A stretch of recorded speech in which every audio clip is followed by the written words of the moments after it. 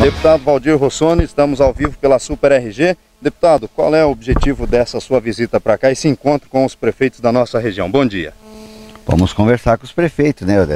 É natural que a gente converse com os prefeitos, os prefeitos têm as suas necessidades. Nós temos muitas atribuições, no, no dia a dia praticamente em Curitiba não dá tempo para dar um bom atendimento, para conversar. Hoje o, o, deputado Nereu marcou aqui uma reunião com os prefeitos e nós vamos conversar com os prefeitos, vendo o que, que nós podemos colaborar na, na, no bom funcionamento das prefeituras. Presidente, não tem como entrevistar o senhor e não lembrar da limpeza que o senhor com, começou na Assembleia. E eu já entrevistei o senhor em uma outra ocasião quando o senhor começava essa limpeza. E eu sei que muitas coisas foram feitas. E qual item que o senhor é, julga o mais importante nessa limpeza? Eu acho eu, o, novo modelo, o novo sistema, a convivência interna dentro da casa, o respeito aos regulamentos, às leis. É, eu acho que isso é uma coisa ainda que demora, porque você não muda um, um sistema de 30 anos é, em apenas dois anos. Você tem que persistir. O dia inteiro eu luto contra os velhos costumes.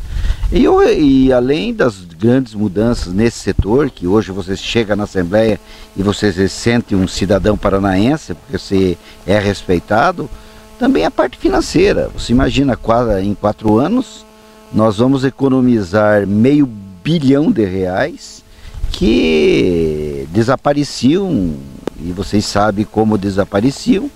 É, acho que isso é um motivo de orgulho meu, dos meus companheiros, daqueles que acreditam, que acredito que ainda há condições de fazer política de forma honesta. O trabalho terminou ainda tem mais o que se fazer, deputado, nessa, nesse segmento?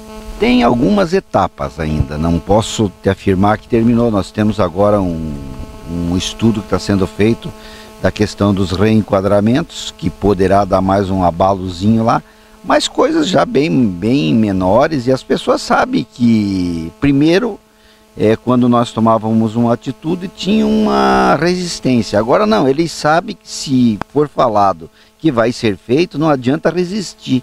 Dentro da lei é executado. Presidente, as últimas notícias para a gente encerrar, para que o senhor possa receber as autoridades aqui, é, dão conta de que o ex-prefeito de Laranjeiras do Sul, o senhor Berto Silva, será o seu assessor direto. É, o que, que o senhor fala para nós sobre isso? Não, ele já é, né? Ele já é desde a semana passada, está na hora de começar a trabalhar bastante ainda, né?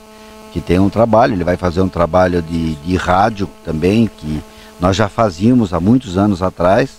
As pessoas hoje reclamam que não tem as notícias e, e, nós queremos, nós vamos entrar em cadeia aí com em torno de umas 50 rádios em todas as regiões onde a gente atua, porque é uma forma de você conversar com o teu eleitor, senão você está lá correndo todo o risco possível para fazer o certo, enquanto você vê no Brasil inteiro você fazendo errado, e os teus amigos que votaram em você ou que podem ah, começar a gostar do meu trabalho não tem conhecimento desse trabalho. Então nós vamos fazer um trabalho de, de divulgação, o Beto vai coordenar esse trabalho e além de coordenar essa região aqui, que é uma região que há muitos anos eu atuo aqui, eu já estou me tornando quase um, um cidadão dessa região aqui, só está faltando mesmo o título. E agora, numa outra posição, eu passei oito anos na oposição, agora numa outra posição, acho que a gente pode colaborar bastante. Obrigado e bom trabalho, presidente. Eu que agradeço.